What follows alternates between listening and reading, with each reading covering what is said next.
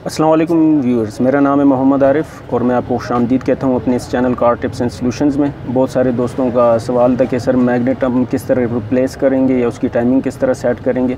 तो आज मेरे पास एक गाड़ी आई है जिसका मैं जो है ना पॉइंट डिस्ट्रीब्यूटर रिप्लेस करके उसे मैगनेट में कन्वर्ट करने वाला हूँ, यानी इलेक्ट्रॉनिक डिस्ट्रीब्यूटर फिट करने वाला हूँ।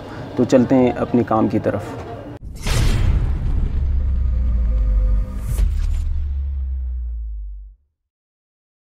जी तो इस तरह आप देख सकते हैं, यहाँ पर जो है ना इस वक्त ये डिस्ट्रीब्यूटर पॉइंट डिस्ट्रीब्यूटर है। और पॉइंट डिस्ट्रीब्यूटर में आपको बता दूँ कि ये लगा हुआ होता है, इसमें एक रूटर होता है और अंदर इसके ये पॉइंट लगा हुआ होता है। तो इसको चेंज करने से पहले, सबसे पहले ज़रूरी बात ये है कि हम इसकी टाइमिंग को टॉप पे लेके आएँगे। टाइमिंग टॉप पे लेके आने का जो सबसे बेहतरीन काम है, वो ये कि इसका जो टॉप पहला फ़र्स्ट सिलेंडर उसको आपने टॉप पे लेके आना है। फ़र्स्ट सिलेंडर इसका ये है और ये सेकंड सिलेंडर है और ये थर्ड सिलेंडर फ़र्स्ट सिलेंडर को टॉप पे हम लेकर आएँगे, उसके बाद इस डिस्ट्रीब्यूटर को आपने निकालना है ताकि हम इस तरह का मैग्नेट डिस्ट्रीब्यूटर जो है ना इसमें फ़िट कर सकें। अगर आप टॉप पर नहीं लेके आएँगे तो फिर बहुत ज़्यादा मसला पेश आ जाएगा मतलब टाइमिंग अपनी जगह पर नहीं आएगी, गाड़ी स्टार्ट नहीं होगी। तो इसको टॉप पे लेके आने के लिए, जैसे कि मैंने आपको बताया कि इसका फ़र्स्ट सिलेंडर ये ये यहाँ पे निशानी आपने रखनी है, यहाँ पे निशानी रख के ये रूटर है, रूटर का जो ये टॉप है, ये इस साइड पे जब आ जाएगा तो समझ लें कि ये इसका टॉप है, और उसके बाद जो है ना, यहाँ पर भी आपने नज़र रखनी यहाँ पर टाइमिंग डिग्रीज़ होती हैं टॉप पर आने की। तो मैं अभी टॉप पर लेके आके आपको बताता हूँ कि किस तरह हम टॉप, यहाँ पर गरारी से हम इसे घुमाएँगे तो हम देख सकते हैं कि यहाँ पर ये घूम रहा है। जिस तरह जिस तरह घूमता जाएगा और उस तरह उस तरह यहाँ पे रूटर भी घूमेगा और यहाँ पे फ्राई व्हील के ऊपर भी निशान आ जाएँगे।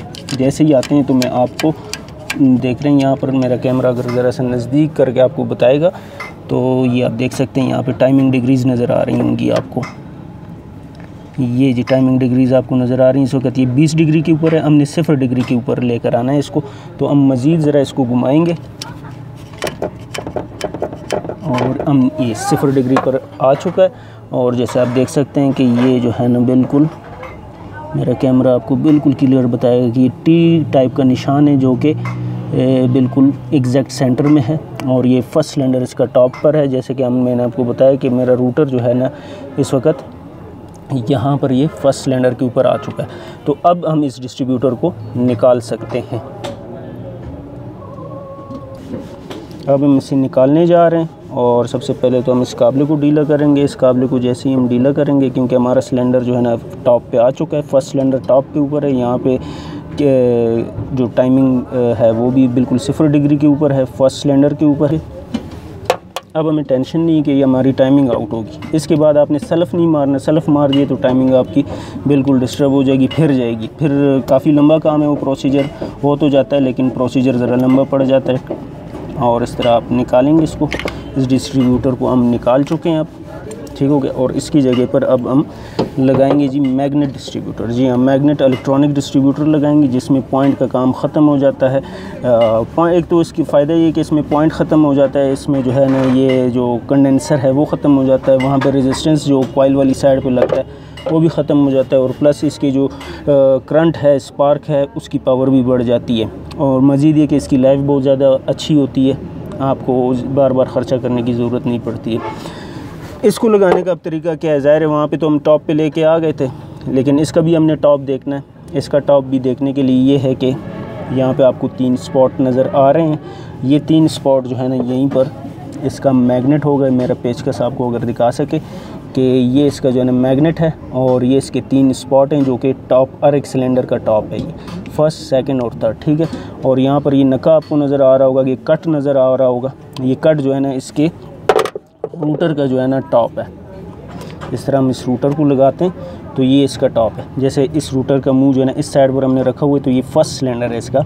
जैसे कि पीछे मैंने आपको बताया कि इसका फ़र्स्ट सिलेंडर, यहाँ पर आएगा फ़र्स्ट सिलेंडर के लिए कि इसकी जो मैग्नेट है मैग्नेट और ये नका ये आपस में बिल्कुल आमने सामने होंगे तो ये इसका फ़र्स्ट सिलेंडर टॉप पर होगा।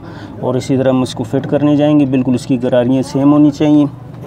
गरारियों का जो सेटअप है, वो दोनों का सेम है दोनों जो है ना साइड सेम तरफ़ जा रहे हैं तो ये इसका मैचिंग है, ठीक हो गया? क्योंकि गरारियाँ अगर उल्टी होंगी तो वो इसका मैचिंग नहीं होगा और ये फिट नहीं हो सकेगा। तो हमने यहाँ पे टॉप पे रखा हुआ है इस वक्त, और हम इस वक्त यहाँ पर इसमें फिट करने जाएँगे। फिट करते हुए आप देखेंगे कि यहाँ पर ये ज़रा सा घूम जाएगा। ये देखें इसका स्पॉट यहाँ से घूम गया मैग्नेट से आउट हो चुका है। लिहाजा अगर अब हम सिफर डिग्री पर लेके आते हैं तो यहाँ पे काबले की जगह नहीं रहती। तो इसके लिए हम दोबारा इसको निकालेंगे और इसका फ़र्स्ट सिलेंडर चूँकि यहाँ पर हमने बिल्कुल आमने सामने रखा था तो इसको हम ज़रा सा पिछली की साइड पर एक पॉइंट हम पीछे रख देंगे। जैसे हम पीछे रखेंगे और हम इसे फिट करेंगे तो हम देख सकते हैं कि यहाँ पर बिल्कुल एग्जैक्ट जो है ना फिट बैठ जाता है। सिफर डिग्री के ऊपर है। सिफर डिग्री का मतलब ये कि यहाँ पे गाड़ी स्टार्ट तो हो जाएगी, लेकिन गाड़ी की पिक नहीं पकड़ेगी। पिक क्यों नहीं पकड़ेगी? क्योंकि टाइमिंग की जो स्पार्क और फायरिंग इसकी जो है, वो सिफर डिग्री के ऊपर जैसा कि यहाँ पे आप देख सकते हैं कि ये जो है ना इस वक्त सिफर डिग्री पर है। अब इसे हम जो है ना, डिग्री देते हैं जी, बीस डिग्री पर लेके आते हैं अठारह डिग्री पर लेके आते हैं, या फिर सोलह डिग्री पर अगर सिर्फ़ पेट्रोल पर है तो फिर आपको जो है ना, यहाँ पर दस से बारह डिग्री के ऊपर आपने रखना है। ये आपको 10 का फिगर नज़र आ रहा होगा। यहाँ 10 से आगे 20 है तो ये निशान है इसका। ये जो है ना बारह के बिल्कुल बराबर होगा। अगर सी एन जी पे चल रही है तो फिर इसको 20 के ऊपर आपने रखना है। अठारह या 20 जो है ना इज़ एन एफ़ गाड़ी की पिकअप के लिए। ये 20 का फिगर यहाँ पे बिल्कुल आपने इसके सामने रखना है। यहाँ सामने रखने के बाद यहाँ पर हम देखेंगे तो यहाँ मैग्नेट का आप देखेंगे स्पॉट यहाँ पे स्पॉट मैं आपको बता देता हूँ। ये स्पॉट आप देख रहे हैं कि इस वक्त जो है ना आउट आ रहा है। ये स्पॉट आपका इस वक्त आउट आ रहा है और इस स्पॉट को हमने बिल्कुल इसके मैग्नेट के बिल्कुल बराबर रखना है। मैग्नेट को बिल्कुल बराबर रखने के लिए हम इसको घुमाएँगे।